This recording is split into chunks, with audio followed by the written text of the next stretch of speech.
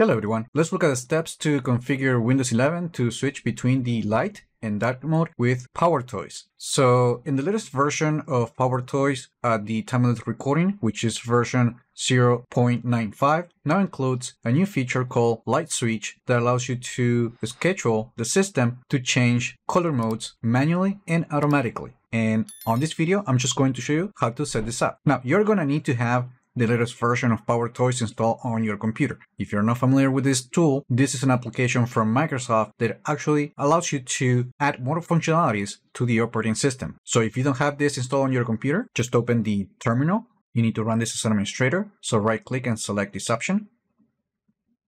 And then we're going to type this command. Of course, I already have it installed. So when I execute this by pressing enter, it's going to fail. But that's the idea.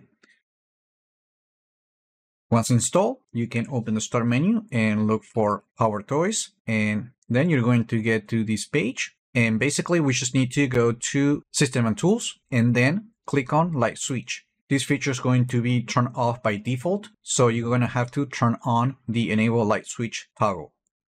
Now, by default, you also have a shortcut that you can use, which is the Windows key plus Control plus Shift plus D. And if you use that keyboard shortcut at any time while the PowerToys tool is running on your computer, you'll be able to switch between the light and dark modes manually.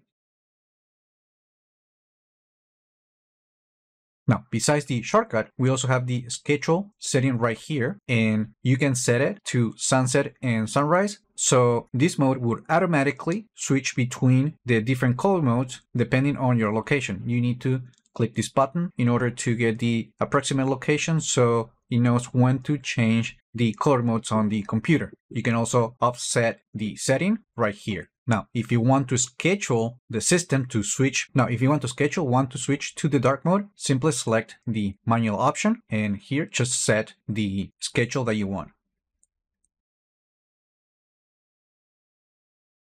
At the bottom of the page, you're also going to notice the behavior setting, and these two options are enabled by default. So basically from here, you can also choose whether the PowerToys feature will switch to dark mode only for the system components, also for supported applications. Usually, if you're going to switch color modes, you want to switch pretty much everything. Okay, to test this, I'm going to set the schedule to 9.59 a.m. and to turn off at 10 p.m. Now, let's see if this works. I'm just going to open Notification Center and then we have a few seconds before the schedule and let's see if uh, PowerToys works as expected.